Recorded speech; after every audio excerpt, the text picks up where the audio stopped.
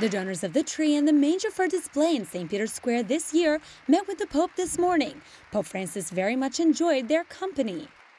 Il presepio e l'albero, simboli affascinanti del Natale, possano portare nelle famiglie e nei luoghi di ritrovo un riflesso della luce e della tenerezza di Dio, per aiutare tutti a vivere la festa della nascita di Gesù.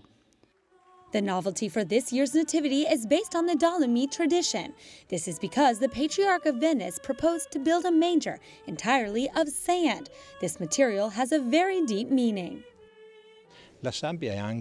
Sand is the image of something that comes from the earth. We know, as the Bible says, that man comes from the earth, that he is fragile.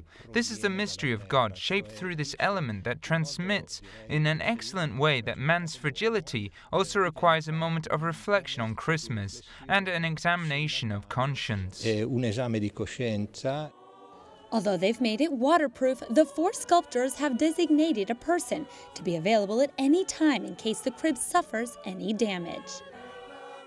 Some people are surprised to see that once dry, the sculpture does not collapse. It's like a clay figure when it's wet, but once it's dry, it's very firm. It's kind of firm. The tree this year will be a red spruce, much simpler than that of previous years, and also after Christmas, it will be destined for a special project. An agreement has already been made that nothing will be thrown away and the tree will be recycled so that toys can be made for poor children. No doubt this year will be original, special, and unique for the Vatican's Christmas decorations. This, as the Pope has said, perfectly reflects simplicity, tenderness, and kindness.